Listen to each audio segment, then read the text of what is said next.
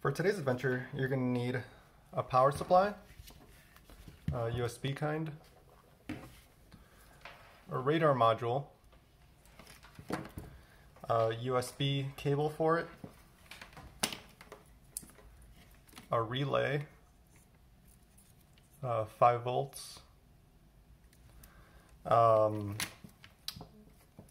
some cables, a uh, TFT Raspberry Pi screen, a Raspberry Pi, and um, some soldering equipment and things like that. Alright, to explain this mess right here, um, I've got this digital connected to this last one down here. I think it's 26, but I can check that later.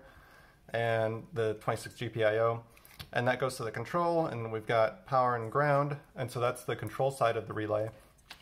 And on the other side I have it set up to the normally closed. So normally this doesn't do anything, it just you know goes right through.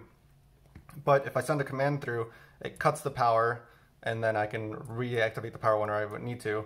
And the reason for that is because this uh, radar module is kind of grumpy and if you like stop talking to it for a second or two, it'll turn off and then it just won't wake up again.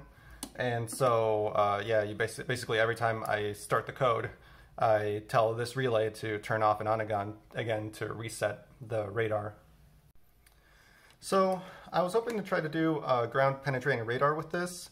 Um, this is a 24 gigahertz uh, frequency uh, scanner, I guess you call it. And typically you need a tenth of that frequency in order to do ground penetrating. You need like 800 megahertz to 2 gigahertz. But I figured, you know, I have this lying around, let's check it out and see what we can do with this. So basically I do cron tab dash E and it opens this up. And at the bottom I just have at reboot export display so it'll actually show on the Raspberry Pi display and not try to do some sort of weird uh, invisible reboot thing.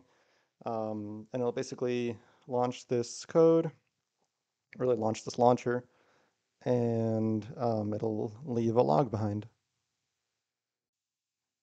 Uh, the actual launcher is pretty simple. It sleeps for a bit, gives everything a chance to wake up, um, and then it makes sure it's in the home, and then it uh, goes to this directory, and it, um, you know, basically starts up the, the script. So for the main script, uh, you know, we got a bunch of imports. Um, all right, so the first thing it does is it finds that one switch on the board, I guess it's switch 40, uh, GPIO 40, um, and then activates and deactivates that one to make sure that the radar is ready. Then it sets up serial so we can start listening to the messages from the radar. Um, I've got some interpolate. Um, basically, the radar gives you the highest points and like their distance and their magnitude, but we don't have that. We have, you know, like a regularly spaced plot, so we have to interpolate in between to get, you know, transform one data to the other. And we got this function which actually grabs the data, the radar data, um, and that it gets a little messy. Um, one because, excuse me, we have to um, basically parse the data correctly, it kind of comes in in a giant array mess. And then we have to turn it into like a clean array. And then two, we actually have to tell the radar that we are going to want uh, eight pieces of information. Give me the, your top eight distances. And so, uh, yeah, that's what this part here does.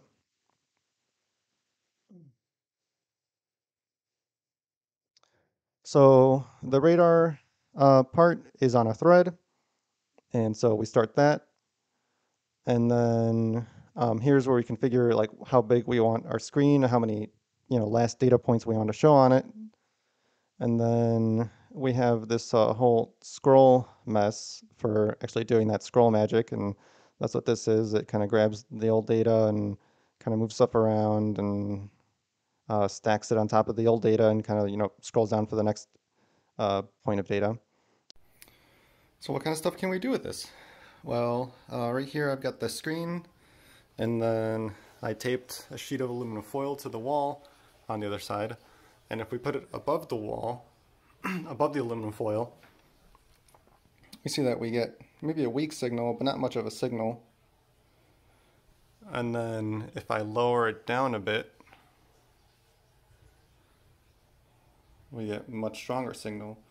So I'm here in my basement. I've got a wall here that is uh, complete on one side, but not on the other side. And so uh, you'll have to forgive the noises in the background. I think that's the sump pump. Um, but either way, uh, here is a stud. And so we can see that where the stud's not at,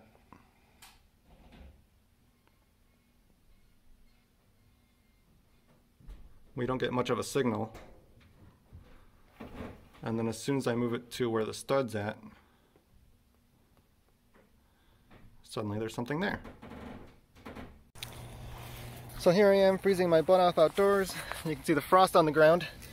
And uh, when I put it against the ground, I guess you see a little bit of a signal, but yeah, now it's just like completely gone. So it's almost like if it sees too much stuff, it uh, it stops you know recording anything. And so yeah, it's not working great for ground penetration. So you can use this for lots of things. Uh, you can even use it to spy on your wife. Hey, it looks like something's coming closer.